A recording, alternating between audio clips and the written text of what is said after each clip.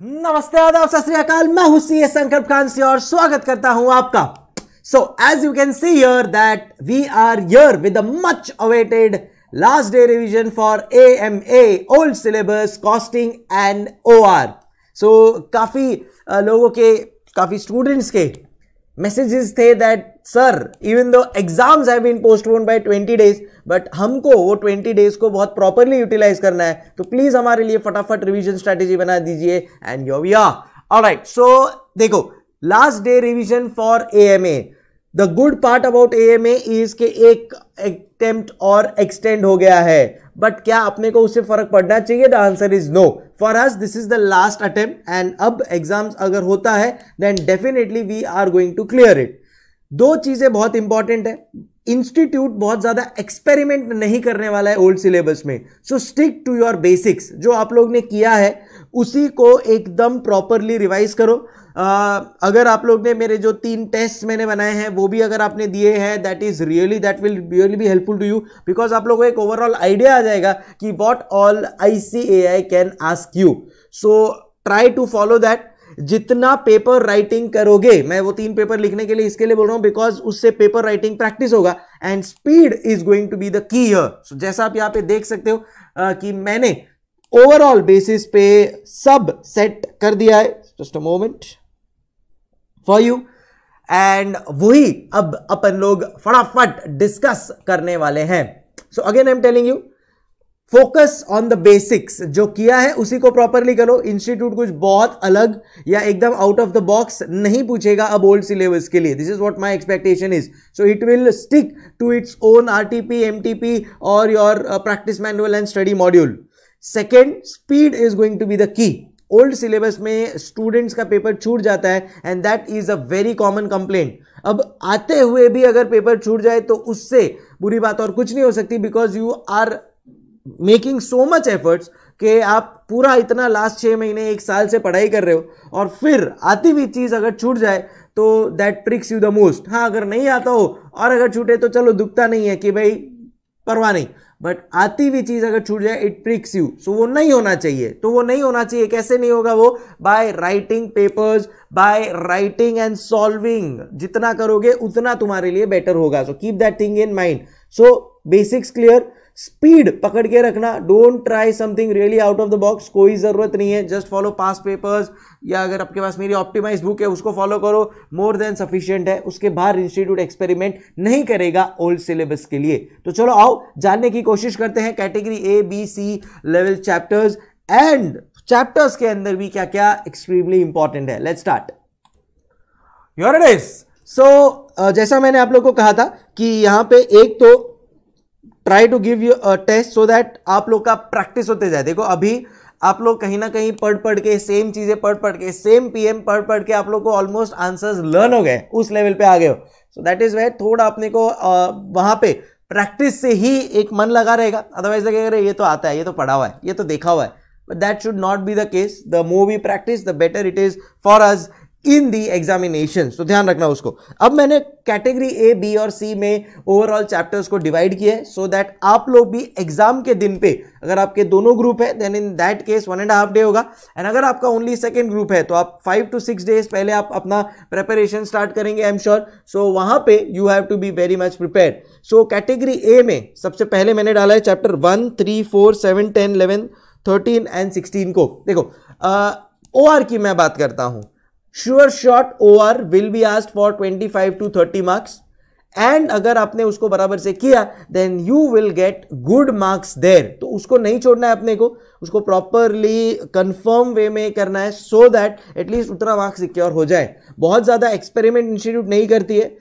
PM मेरे हिसाब से ओआर में पीएम या अगर आपने ऑप्टिमाइज बुक किया है तो ऑप्टिमाइज बुक के बाहर कुछ भी नहीं आएगा.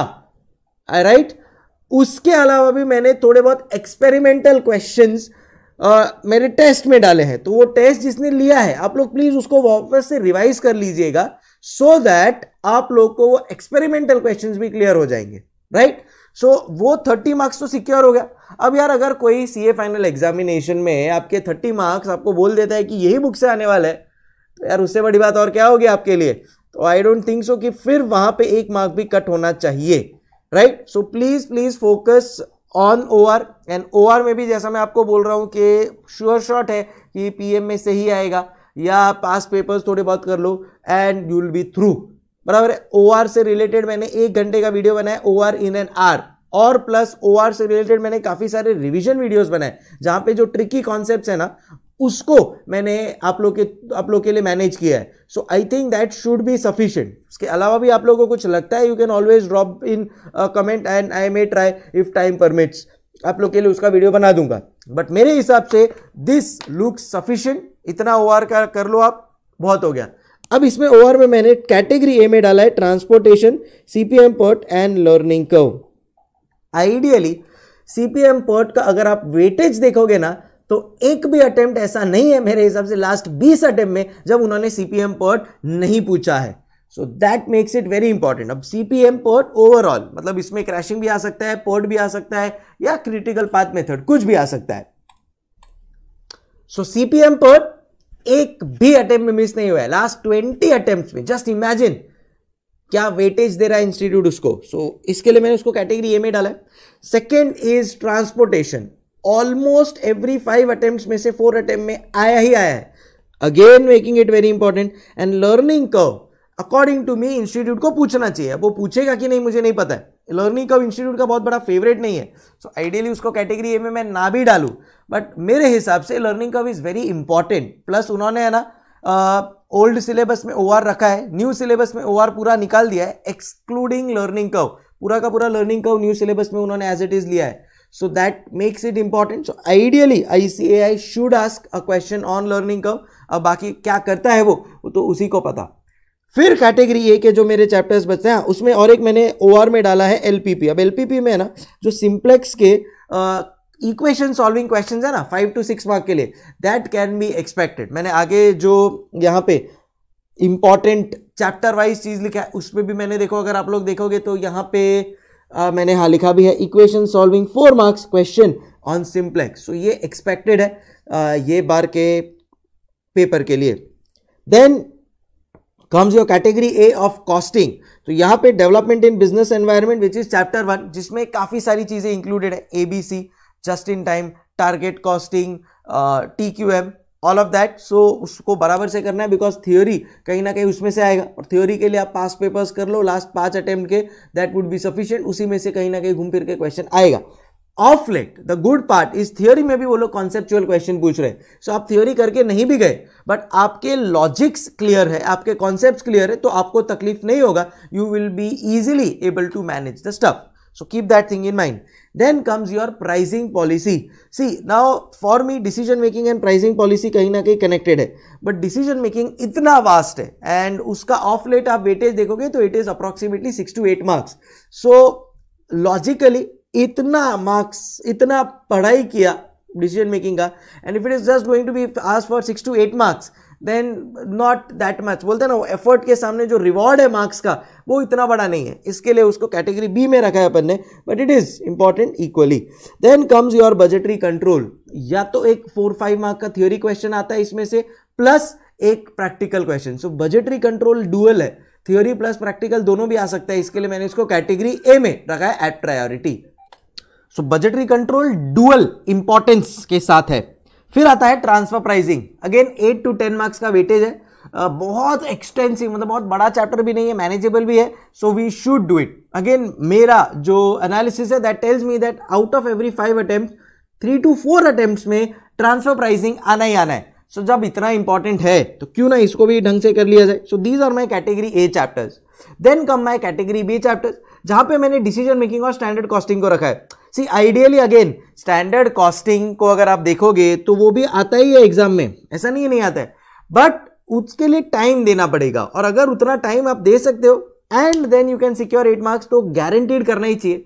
बिकॉज़ स्टैंडर्ड कॉस्टिंग का जो सम्स है ना, वो सिंपल आता है। ध्यान रखना, जो चैप्टर एक्सपेक्टेड है, उसका ट्रिकी सम पूछेगा इंस्टीट्यूट और जो चैप्टर इंस्टीट्यूट को लगता है, यार, ये वाला तो स्टूडेंट छोड़ेगा एक्सेप्शन में रखेगा उसको। तो वो इंस्टीट्यूट उसका सिंपल क्वेश्चन पूछेगा। भाई इंस्टीट्यूट में जो पेपर बना रहा है, वो भी तो ये एग्ज़ाम देके पास होके आगे बढ़ा है ना? So, they know the whole criterias and everything. So that is where this chapter becomes extremely important provided आपने किया हो। अब नहीं किया है और लास्ट मिनट में पैनिक वाला सिचुएशन है तो फिर बाद में लोड लेके कोई मतलब नहीं है। सर्विस सेक्टर पीएम में से करो अराउंड आठ से दस क्वेश्चन करके जाओ। मेरा बुक है ऑप्टिमाइज सी बाय डिफ़ॉल्ट मैं अगर बोल रहा हूँ पीएम तो ऑप्टिमाइज भी कवर्ड ही है उसमें। सो आपके पास अगर ऑप्टिमाइज आपने किया हुआ है तो ऑप्टिमाइज वाला बुक करके जाओ। भाई साहब उसके बाहर कुछ नहीं आएगा।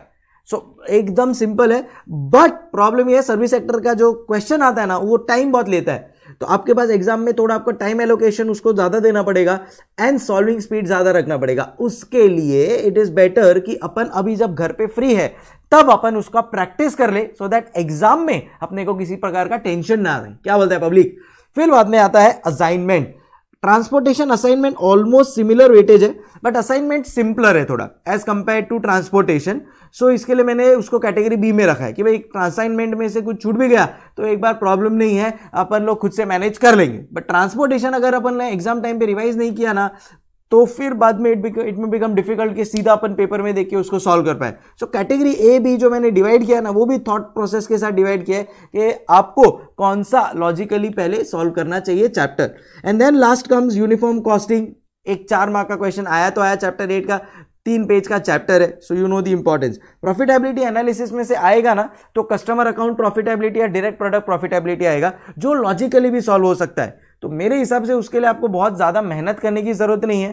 थोड़ा अपना दिमाग अगर अब एकदम लॉजिकल रहा कॉस्ट मैनेजमेंट आता रहा you will be able to easily crack it and last but not the least is simulation simulation के ऊपर भी ऐसा नहीं क्वेश्चन नहीं आता आता है। बट अगेन आई फील कि वो नहीं भी कर पाए। अपन लोग एग्ज़ाम टाइम पे रिवाइज एंड फिर भी अगर अपने को कोई सिमुलेशन का क्वेश्चन करना रहा तो कर लेंगे। टिपिकली उसमें दो तीन क्वेश्चन है, एक बुक्स वाला क्वेश्चन है, एक केक वाला क्वेश्चन है। वो अगर उतना कर लिया तो मेरे हिसाब से ये चैप्टर हो गया। सो इसके लिए उसको कैटेगरी सी में रखा है। I hope we are clear so इस हिसाब से आपको अपना स्टडी पैटर्न वर्कआउट करना है। So that category A B C के हिसाब से आप कर लो। मेरे हिसाब से ये तीन टेस्ट भी दे दो साथ में सो दैट थरो हो जाओगे। मतलब गारंटीड फिर ये कॉस्टिंग आपको हंड्रेड परसेंट सेवेंटी क्रॉस करवाएगा। और आपका जो ग्रुप टू का टेंशन है ना, वो ये कॉस्टिंग आपको बोल देना आपकी नैया पार करा देगा। It will ensure that you don't have to worry for the averages part is what my recommendation is rest is up to you then आते हैं अपन लोग कुछ एक्सपेक्टेड क्वेश्चन है जो आईसीएआई ये बार पूछ सकता है। So I have made a list according to me institute को ये बार पूछना चाहिए ये वाले टाइप के क्वेश्चन सो फ़र्स्ट चैप्टर में से ABC with target costing institute को पूछना चाहिए सो दैट चैप्टर वन में से दो चैप्टर भी कवर हो जाएँगे and at the same time they are important as well four types of quality cost and institute का एक टाइम पे फेवरेट क्वेश्चन हुआ करता था. बट आई थिंक मे 18 के बाद उन्होंने अभी तक पूछा नहीं है. सो आई थिंक दैट एक्सपार एक्सपेरिमेंटेशन का स्कोप है. एंड थियोरी ऑफ़ कॉन्स्टेंट्स में से एक practical question is what is expected. So theory of constraints can also be asked in the exam. Then there is a make versus buy तो अगर decision making में आपके पास time है, करना ही है तो मेक वर्सेज बाय वाला करना एंड शट डाउन पॉइंट वाला करना. अगर एग्जामिनर लॉजिकल होगा तो वो शटडाउन पॉइंट के ऊपर क्वेश्चन पूछेगा, क्योंकि कोरोना के बाद अब काफ़ी सारे बिजनेसेस बंद हो रहे हैं, कुछ टेम्पररीली शटडाउन हो रहे हैं, कुछ permanently so as a chartered accountant अपने पास अपना क्लाइंट आएगा और ये सवाल खड़ा करेगा कि शटडाउन करूँ कंटिन्यू करूँ, क्या करूँ, अपने पास जवाब रेडी होना चाहिए। क्यों? So that is where I I should test you on this shutdown point if I was the paper setter मैं तो करूँगा ये।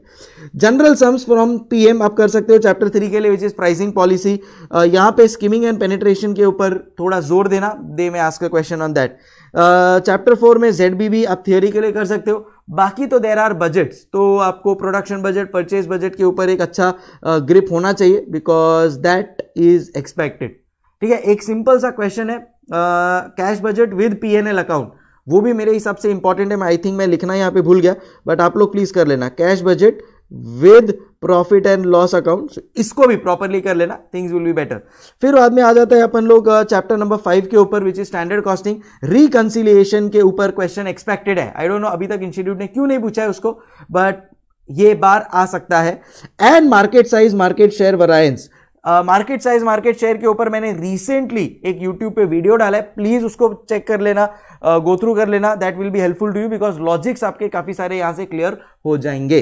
So reconciliation statement market size market share due है। अब वो पूछेगा क्या आईसीआई वो उसी को पता है। बट मेरे हिसाब से ये दोनों ड्यू है। ये दोनों आज पूछने चाहिए। Then comes your service sector costing उसमें एयरवेज वाला एक क्वेश्चन है। धूम मचा ले। बहुत अच्छा क्वेश्चन है। Please do that seven chapter which is your transfer pricing international transfer pricing ICI ने नहीं पूछा है बहुत टाइम हो गया है। सो so, आपने पीएम में पूछा है। पीएम में इतने अच्छे क्वेश्चन दिए हैं। तो किसका वेट कर रहे हो भाई? पूछ लो। अब दो ही अटेम्प बाकी है ओल्ड सिलेबस वालों के यार। ले आओ भाई।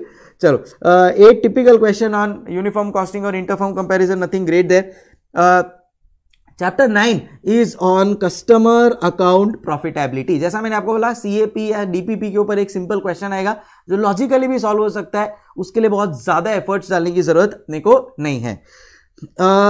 चैप्टर टेन इज़ एलपीपी उसमें देखो एलपीपी नॉर्मल वाला तो सिंपल है बट जो सिंप्लेक्स वाला है, वो करके जाना पड़ेगा। Less than greater than slack वो सब मेरे, ये सब यू नो पॉजिटिवली वीडियोज़ है रिविजन वीडियोज़ है please go through that so it will be helpful फिर बाद में आ जाता है अपना chapter number 11 which is your transportation route allocation related problems जो है आई थिंक क्वेश्चन नंबर 15 16 है आपके पीएम का वहाँ से कर लीजिएगा। Then chapter 12 assignment manager making mistake in assignment according to me this is the question जो अगर आईसीआई पूछता है ना uh, इसके असाइनमेंट के ऊपर तो मैनेजर मिस्टेक वाला क्वेश्चन आने का फुल टू स्कोप है। चैप्टर 13 14 में क्रैशिंग प्लस पोर्ट का एक कंबाइंड क्वेश्चन आ सकता है, जहाँ पे आपको क्रैशिंग भी करवाएँगे एंड पोर्ट के कुछ लॉजिक्स है T T O T P वाले, वो भी यूज़ करवाएँगे। देन फिफ्टींथ इस चैप्टर सिमुलेशन बुक्स वाला ऑफ़ लेट पूछा नहीं है उन्होंने तो बुक्स वाला ये बार एक्सपेक्टेड है। And last learning curve with standard costing is what can be ask या लर्निंग कर्व का एक जनरल सिंपल क्वेश्चन भी वो लोग पूछ सकते हैं it's up to them so this is about what I C A I should आज जो उन्होंने मिस कर दिया है कुछ अटेम्प्ट में और जो इसके लिए ये बार एक्सपेक्टेड है। अब क्या आएगा वो तो आईसीआई बता सकता है। बट ये एक मेरा जनरल आइडिया मैंने आप लोग को दिया है। प्लस आप लोग को बता दूँ मैं कि आप लोग के लिए स्पेसिफिकली आप लोग पूछते हैं कि, सर, हमको बताइए कि हमको कौन से चैप्टर में से कौन सा क्वेश्चन करना है? अब हमारे पास पाँच दिन है, सर। पाँच दिन में 200 200 जो क्वेश्चन है इतने सारे वो तो सब हमारे से नहीं हो पाएँगे। सो हम लोग को लास्ट डे के लिए कौन से कौन से दो तीन दिन में हमारे पास रिवीजन के लिए टाइम है तो हम कौन सा करेंगे सर तो उसके लिए सर ने ये बनाया देखो बहुत ज़्यादा आप लोग के लिए तो कोई नया एडिशनल क्वेश्चन आया नहीं है ना पीएम में ना मॉड्यूल में। सो इसके लिए we have to stick to the basics जो मैं आपको स्टार्टिंग में बोला था और ये इसको रिलीजियसली फॉलो करूँ। मैं आपको बोलता हूँ कि पेपर आपका 95 परसेंट इजिली अटेम्प्ट हो जाएगा। सो so, अब आपको क्या करना है? एक स्टिक टू योर बेसिक्स जो आप लोग ने किया है, उसको बराबर से करना है। सेकेंड राइटिंग प्रैक्टिस थर्ड जो मैंने टेस्ट दिया है, वो आप लोग को देना है। ये तीन कंबाइन कर लो। Guaranteed this is the subject which is going to be the game changer for you इसका जो लिंक है, वो मैं मेरे टेलीग्राम चैनल पे डाल देता हूँ। सो आप टेलीग्राम चैनल से वहाँ से पिक कर लो। एंड यहाँ पे आप लोग को सब चीज़ें मिल जाएगी। सो सीपीएम पोर्ट है देखो। इसमें कुछ थ्योरी भी है इंपॉर्टेंट है। देखो सीपीएम पोर्ट एक ऐसा चैप्टर है ना इसका थ्योरी प्रैक्टिकल सब इंपॉर्टेंट है। तो इसको छोड़ना नहीं है अपने को प्रॉपरली करना है। मैंने टाइम स्केल डायग्राम को रखा है सो प्लीज़ उसको रखा है। तो कुछ लॉजिक से रखा है प्लीज़ करना ध्यान रख। के फिर बाद में ट्रांसपोर्टेशन में जो अपना टिपिकल है ए स्टडी है एक दो वो बराबर से कर लेना। असाइनमेंट में इनकरेक्ट असाइनमेंट वाला जैसा मैंने आपको बोला ये बार इंपॉर्टेंट है। देन सिमुलेशन में बुक स्टोर वाला इंपॉर्टेंट है। सो so, जो मैंने इंपॉर्टेंट दिया है वो भी आप लोगों को बता दिया है कहाँ पे है। सो so, आपके पास मॉड्यूल है या पीएम है वो आप कर लो। ये दिस इज़ बेसिकली पीएम ये इधर मॉड्यूल लिखा है but this is basically PM so ये सब जो रेफरेंसेज है वो आपके पीएम के रेफरेंसेज है ठीक है? सो पीएम को आप रिफर कर सकते हो आपके पास नहीं है। देन इन दैट केस आप ऑप्टिमाइज रिफर कर सकते हो। इट्स नॉट फॉर ऑप्टिमाइज जो बुक है आप लोगों के पास ब्लू वाली that is the book that you have to refer so ये है। फिर ट्रांसफ़र uh, प्राइसिंग आ गया है अपना। Activity based costing decision making budgetary budgetary में जैसा देखो मैंने बोला था cash budget with income statement तो ये फॉलो कर लेना आप। इसमें आपको मिल जाएगा थ्योरी रेशियोज कर सकते हो आप। सो दिस इन एसेंस अगर आप लोग ने इतना कर लिया ये पीडीएफ खत्म। देखो ये एयरवेज वाला जो मैं आप लोग को बता रहा था इंपॉर्टेंट है। सिंप्लेक्स में एक मास्टर सम है, वो आप कर लोगे तो आपके लिए अच्छा हो जाएगा। So that's what it is